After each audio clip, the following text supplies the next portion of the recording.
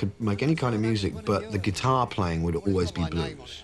You know, if I took a solo in, I would always make sure that I could find some place to put the blues in so that I knew, even if nobody else did, that I was still at one foot on the path. And now, really, we're back to square one.